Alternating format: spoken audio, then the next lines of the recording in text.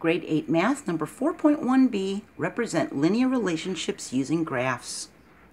A linear equation, see we're talking about linear relationships, so a linear equation is an equation whose solutions are ordered pairs, you know, x and y, that make a line when graphed on a coordinate plane. They can be written in the form of y equals mx plus b, and that's when b doesn't equal a zero. The relationship between the x and the y are non-proportional the line doesn't go through the origin 0, 0. Well, in the previous unit 3.3, we saw the x value as input and the y value as output. The equation y equals kx represented a proportional relationship with k as the constant. Remember the constant of proportionality? Well, now the equation y equals mx plus b represents a non-proportional relationship with m as the slope. So remember in the slope formula it said m equals so the equation can be written with m, a coefficient for x, and with addition and subtraction like this. You remember what a coefficient is. It's the number in front of a variable. So this is the m. The 6, 3, and the 2 would be the m part of the equation, see?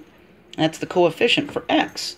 We can have either addition or subtraction behind the x, okay? So here's our equation, y equals mx plus b, and this is the problem that you used in the last video. This is the word problem. That Emma bought a tomato plant that was 10 centimeters tall, and each day it grew 2 centimeters. So you can see how it lines up with this equation. The 2 is the m, the slope, x, is going to represent each day. So the 2 is the 2 centimeters it grew every day, and the 10 is going to represent its original height of 10 centimeters when she first bought it. And we can show its growth over a period of 4 days. So x is the number of days, y is the height in centimeters, and we can do our math and fill in this table with our x and y values, and all we have to do is multiply this by 2 and add the 10. So the first day we have 2 times 1 is 2, plus the 10, so it's 12. And then we have 2 times 2 is 4, plus 10 is 14. See? We fill in the rest of the table. Now I like to write it vertically and they do that in high school and college. And the reason I like to do this is because if you look right here, it shows our xy coordinates very, very simply just by going across, see? Now, if you look at this number 2 here, this coefficient for the x, that ends up becoming the slope. And I'll show you.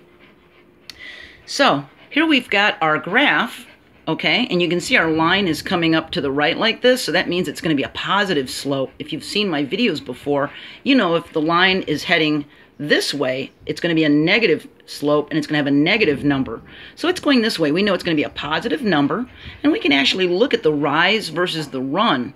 The rise is how much this the steepness of this line is going up vertically, and these go by twos over here, 2, 4, 6, 8, 10, 12, so each box is a 2, so it's going two, four, six. That's the rise, the vertical rise. And the run is the horizontal change. Now if you look at this X line here, you'll see that each of these digits are only going up by a single unit. So it's one, two, three, four, five, six. So if we count three boxes, that's one, two, three. So our rise is 6 and our run is 3. 6 divided by 3 is 2. Yep, our slope is 2, just like it said here, okay? Just like m is 2 here. So we can do this using our coordinates, can't we? So I chose this to be point 1, our coordinate 112, and our coordinate 418 is going to be our point 2. So that's this one is point 1 and this is point 2. And I subtracted y2's value and y1's value from each other and got 18 minus 12, which is 6. And then I subtracted the 1 for the x1 value from the 4, which is the x2 value, and I got a 3. See? Because that's the slope formula. You take the second y value and you subtract the first one from it. You take the second x value and subtract the first one from it. And you get this proportion, this ratio of change in y values over change in x values. Okay? And we end up getting our 6 over 3, just like we did when we counted it here. See? And we know that our slope is 2 m equals 2. The slope is 2. Now, look at this. Why is this considered non-proportional linear? Well, it doesn't go through the origin. In the last unit, all of our lines went through the 0, 0, didn't it? And this one doesn't. It's hitting the line y right here at the 10. That's the y-intercept. That's why it intercepts it right there at the 10.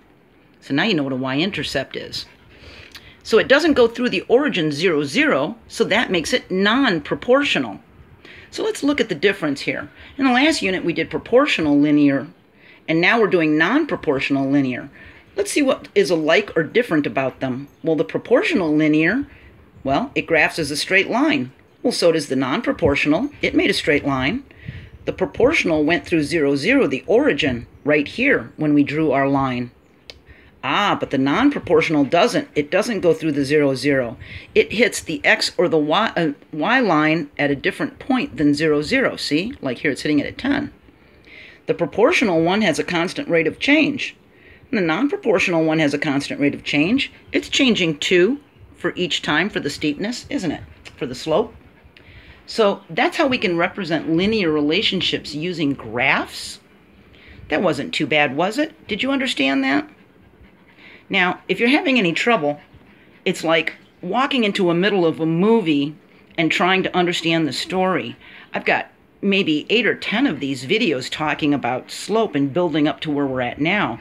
If you don't understand, maybe you need to go back a few videos in my grade 8 playlist. Maybe go back to 3.2 or 3.3 and start watching them from the forward so that you can catch up to what we're doing. I would hate for you to get lost doing all of this, okay? So we're going to continue talking about uh, slopes. And now we're going to talk about the y-intercept in the next video. But you kind of have an idea of what it is now, don't you? It's where the line is hitting the y line, right? All right, I'll see you there, and you'll be fine. Bye.